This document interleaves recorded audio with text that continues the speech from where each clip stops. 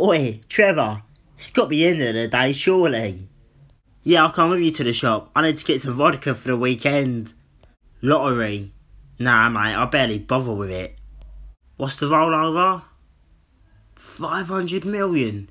I'm having some of that. I'll have a couple of lines on that, please, mate. See you later, guys. See you Monday. Went too hard last night. Bruv, we got any fags here? I got to the shop. Do you want anything? Alright, mate. Can I get 20 sterling? And as well, can you check my lottery, please? I won. How much? 500 mil. Are you joking? I'm rich. Cheers, bruv. Bruv, I want a 500 million quid rollover. I'm quitting work. Boys, let's have a night out. What? Oh, stuff work.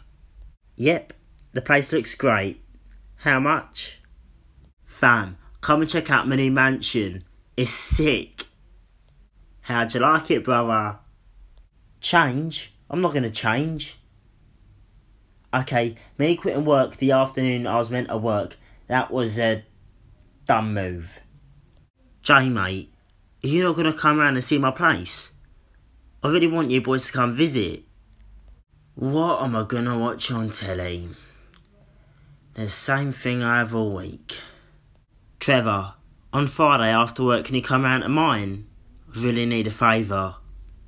Can you help me come up with a business plan? I'm so bored, man. Plus, you're the clever one. It's brilliant. Cheers, mate. You're a lifesaver. Bruv, you alright? Yeah, want to the pub for a bit? Got some explaining to do. Trevor helped me with a business deal.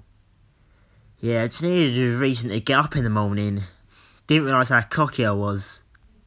Boys, I didn't think you'd come. Winning that money was both the best and worst thing that ever happened to me. I didn't realise how deep I was getting. But I'd still love for you boys to come check out the place.